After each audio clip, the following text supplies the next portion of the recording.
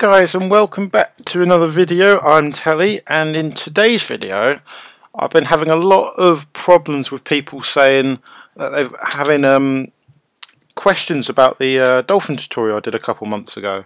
And it went down really well. Got at 10,000 views now which I wasn't expecting so thank you very much for that. But anyway I'm rambling. So the question was uh, how do you get pressure sensitivity on the PlayStation 3 controller? And to be quite honest, I didn't actually know the answer, so I was trying to help people as best I could, and I've had, I don't know, about 100 people ask me this now. So I did some research, and it's you're gonna brain fart. It's gonna you're gonna face palm when you see how easy it is. Okay, so I'm not gonna go into a whole depth of how to do shit because if you want to know how to do what I'm about to do here, go watch the other tutorial and then come back to this one. But first of all, I'm going to assume you've watched the video and you're going to know exactly how to connect your PS3 controller, which we're going to do right now. I'm pressing the button. It's going to come up here. You can see it just changed up here. I've got the PS3 controller set up. And another thing I didn't I didn't explain this in the video, which I should have. You should connect your PS3 controller like I've just done now before turning on Dolphin. So I should have explained that, but that's my bad. So you connect your PS3 controller, turn on Dolphin. So this is what you got. You've got your games here. If you know how to do this, you again, this is all explained in the tutorial. So if you haven't watched that and you're watching this, I highly suggest you go watch it. But so you've got your games, and uh, just to prove this is the main game. It's the problem that you're having with this game is Mario Sunshine. So if we boot this up, it's probably going to be bare laggy, like super laggy because I'm recording. But we're going to go with it anyway. Roll with it, and uh, we'll go to slot one when it loads. Here we go. Super laggy because I'm recording. But as you, as you can not very well see, I can't move while I'm shooting. I literally can't move. So we're gonna I'm gonna show you how to do that because in Mario Sunshine, um, you can hold down one of the triggers to stand still, and you can also just pr lightly press it, and you can move around and shoot. So the problem is in the on when you're playing this is you can't actually do that. Like with the, the tutorial I showed you, you can't do that. So what we're going to do is it's super easy. So you're going to go into the GameCube pad, which is where your control setup is. And here's your buttons. So you can see you've got your buttons here, you've got A, you've got X, blah, blah, blah, blah, blah. You've all set up. So over here is your left and right buttons that we, um, you've got, you should associate it to left and right trigger. Uh, not left right trigger, the left and right bumpers if you like.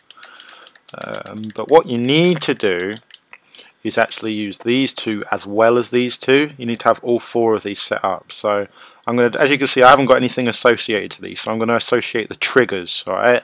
Important you understand the triggers are different to the bumpers. The triggers are the bottom ones on the PS3 controller, not the top ones. All right.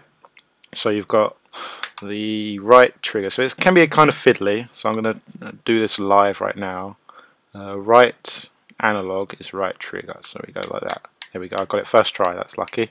So now that's associated to the right trigger, okay? And you do the same one for the left analog. So you press it, and you do that. You just have to keep pressing it over and over again, like both the buttons at the same time, like, and there you go, you'll get it eventually. It's a bit fiddly, and I just had it twice there. Right, there we go, got it. So you can see now, I've got both the triggers there, I've got both the left right. You can't tell the difference, but I'm, that's what I'm doing. Okay, so once you've done that, you can save it or whatever, which I'm going to do now. I'm going to save. And if we go back into Mario Sunshine, again, this is going to be hard to demonstrate because of the lag, but because you I literally cannot play this game and record it, but uh, you will see now that I can actually run and shoot at the same time, which I couldn't do before. So the thing you have to keep, do though in order to do this is um, if you want to stand and shoot you have to use the top trigger like so.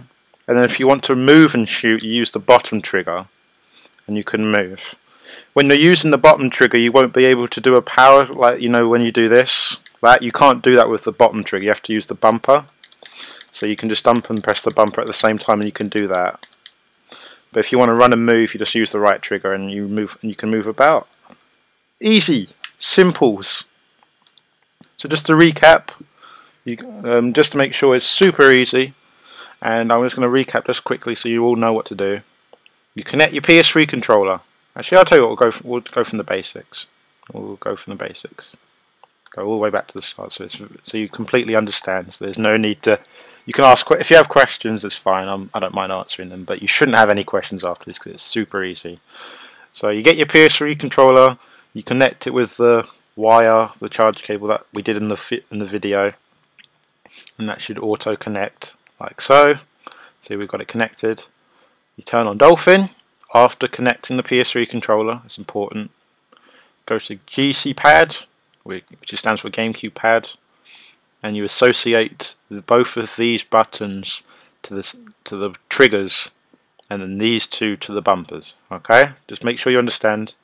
These two, the analogs to the bumpers, uh, not the bumpers, sorry, these two to the triggers and these two to the bumpers. These two triggers, these two bumpers. Okay? And if once you've done that, you save, and you're all done. Simples. And then you have pressure sensitivity, so you can move about and and use it. Okay? So thank you very much for watching. If you would be super kind to subscribe and like and video and all that good stuff, that would make my day. This took a while to figure out. So it would be greatly appreciated share this with friends and whatever to help them figure it out. And uh, yeah, I'll speak to you in the next video of whenever I my Mac's having problems recording at the moment. So you know, so as soon as I get it fixed, uh, Minecraft will be continuing all that other good stuff. So yeah, talk to you guys in a bit. Bye.